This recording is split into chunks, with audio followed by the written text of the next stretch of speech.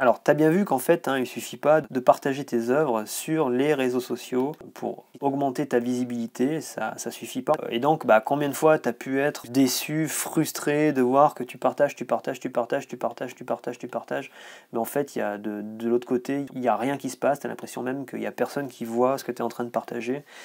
Et donc, peut-être que tu as douté et tu t'es dit, ben... Est-ce que vraiment ces, réseaux sociaux, ça, fonctionne? Alors que moi, je vois que quand je partage, ça fonctionne pas. En tout cas, euh, j'ai peut-être des... Euh, ouais, c'est génial, j'ai des gens qui le voient, mais euh, j'ai vraiment aucun retour sur vente. C'est-à-dire ça ne génère pas du tout des ventes, ou alors vraiment très, très, très, très peu.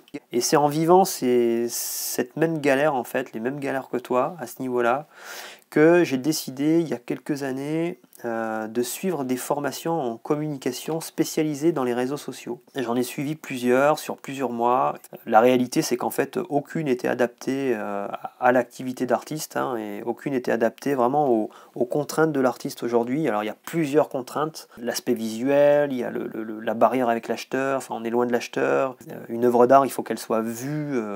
c'est mieux si elle est vue physiquement, enfin, tu vois, c'est plus facile.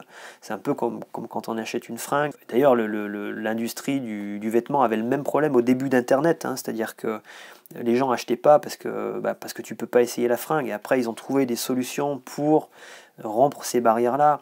Et, euh, et, nous aussi, on a des solutions pour ça, en fait. Donc, c'est énormément dans le contenu que tu vas proposer, dont on a parlé dans le module 3. Euh, c'est vraiment grâce à ce contenu-là, à l'univers que tu vas pouvoir euh, échanger avec ton, ton client parfait. En fait, ça va construire petit à petit l'intérêt que l'acheteur porte envers tes œuvres et envers, envers ton univers. C'est vraiment par ça qu'on va, qu'on va arriver à, le capter, à le capturer. Et donc j'ai dû prendre le temps d'essayer toutes ces, techniques-là de, à travers les formations que j'ai faites en communication par les réseaux sociaux.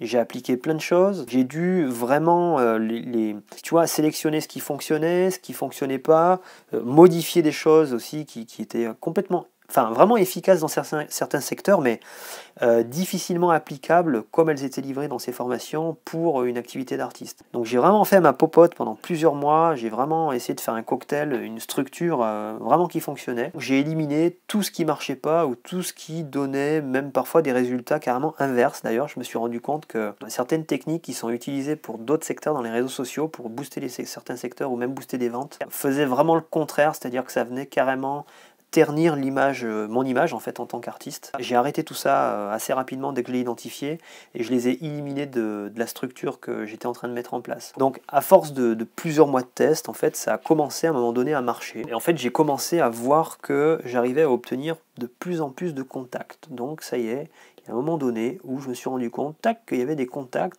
et donc pas n'importe quel contact, hein, les contacts du client parfait que je ciblais, qui étaient en train de, voilà, de se multiplier comme ça, de multiplier, multiplier, multiplier.